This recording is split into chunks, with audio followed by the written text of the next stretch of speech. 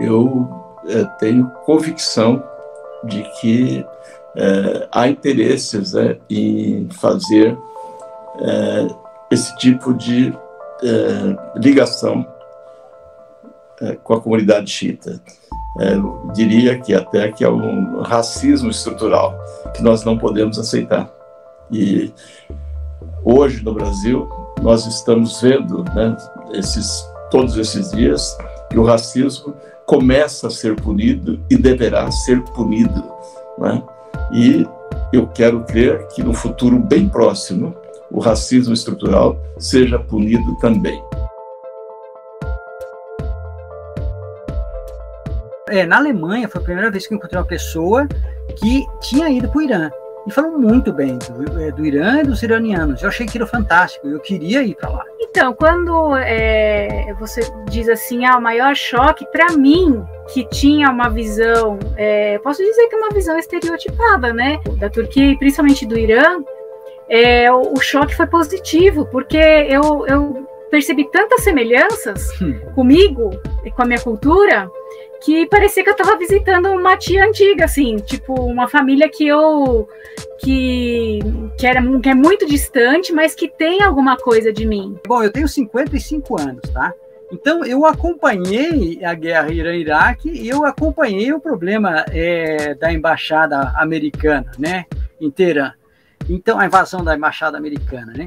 E, e, e foi nessa época que começava a se falar de xiita. E, e xiita era um radical. Xiita radical. Aí depois você começou a usar o termo xiita para radical. E era, um, era radical islâmico, porque o Irã certamente era radical, porque o bom era o outro. e essa, é, essa retórica é, é das agências americanas, ocidentais. Isso é muito interessante, porque você vê, se você pegar o, o filme Rambo, aquele filme americano, aquele cara, né? O Rambo 3, teoricamente, em, assim, tese, o Rambo ele estava lutando é, ao lado é, dos fundamentalistas da, do Afeganistão. E por quê? Porque ele estava lutando contra os, os, o, a União Soviética naquela época. E depois é, é, é os fundamentalistas param de ser é, os bonzinhos para ser os maus. Então eles vão trocando essas essas retóricas conforme o bel prazer, conforme o interesse deles. Então não se falava o que, que é xiita, era só porque era o contrário. E, e o presidente americano ele é bem claro, né? Um, acho que é o, o, o, Bush que falou isso aí. É o eixo do mal. O mundo é dividido em bom e mal. O eixo do mal é Venezuela, Irã e Coreia do Norte. Então, isso é uma, uma ideia muito simplista das coisas, né? Então, acho que desde essa época, o brasileiro entende xiita como um cara radical.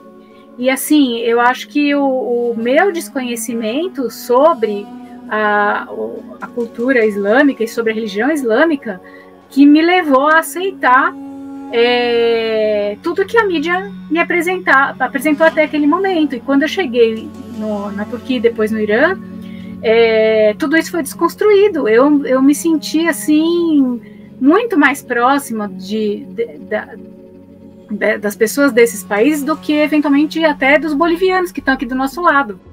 O povo xiita é um povo maravilhoso. Eu me orgulho muito é, de conviver, de estar entre os xiitas é, quase todos os dias de minha vida.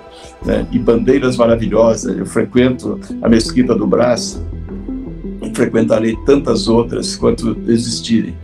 O trabalho social desenvolvido pela Mesquita do Brás, em todas as catástrofes que nós temos, a recepção que se dá aos povos que são obrigados, refugiados né, de vários países, sempre se procura ficar próximo de uma mesquita, porque lá ele não vai passar fome, ele vai ter um local para tomar banho, ele vai ter roupas, vai ter alimentação.